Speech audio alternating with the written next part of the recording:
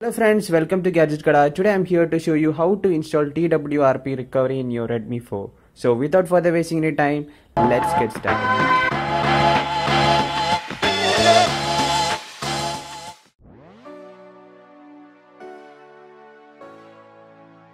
So to get started, first of all let me show you the Android version. So as you can see here my device is Redmi 4 and it is running on the latest Android version 7.1.2.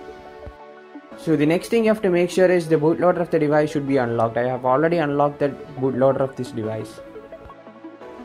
And the next thing is in the advanced settings, go to developer settings and turn on USB debugging. For the installation of the TWRP recovery, you will require some files. I will leave the link in the description. You can download it from there. So first of all, you have to extract the platform tool zip file and you have to extract all the contents in this folder. So once the extraction is complete, you have to copy the other three files that is Lazy Flasher, Recovery and Super SU Redmi 4. The Super SU and the Lazy Flasher is needed only if you are going to root the phone as well.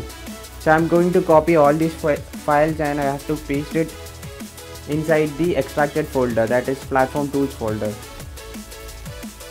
Now I am copying the platform tools folder to the desktop to make things easier.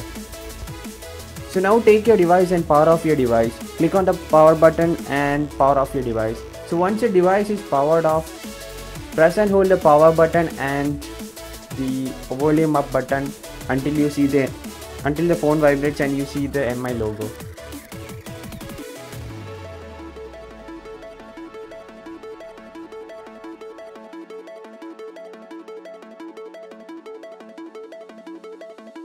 Then you will see an orange screen. There you have to press on fast boot to enter the device. So the, so the device will enter into the fast boot mode. So as you can see here my device has entered the fast boot mode. Now what you have to do is you have to connect your USB cable and plug in your device to the laptop. So now open up command window and type in fast boot devices. Fast boot space devices.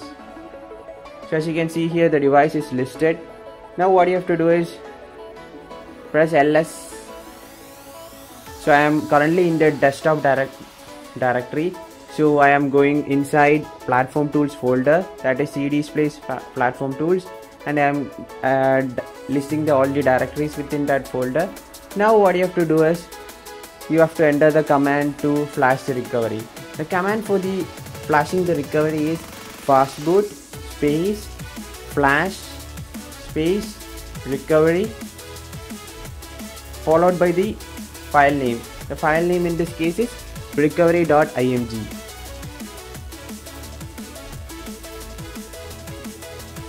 recovery.img so once that is done click enter. So as you can see here that it is flashing the recovery and things are done now take your phone and remove the USB cable and press and hold the power button and the volume up button until the device vibrates and you see the MI logo.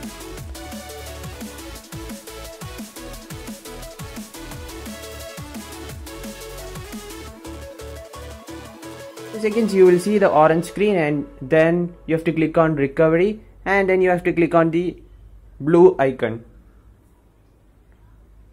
So again you will see the MI logo and after a few seconds you should see the TWRP recovery. Yes, there you go. You will see the team win TWRP recovery. So initially the TWRP recovery you will see will be in Chinese language. You have to change the language to English. So I will show you how to do that. So now you have to click on the button which I am clicking right now. In the next screen you have to click on the right side of the screen and then you will see an option to select the language in that you have to click on English and in the and you have to click the down button. So now the TWRP recovery is in completely in English. Now you can enjoy flashing ROMs, flashing kernels, anything. So if you're if you're not familiar with any of these options, please don't try it. It will brick your device and we won't be responsible for any of those. So that's it for today. If you like the video, please hit the like button, do share it with your friends and subscribe to our channel for more exciting videos.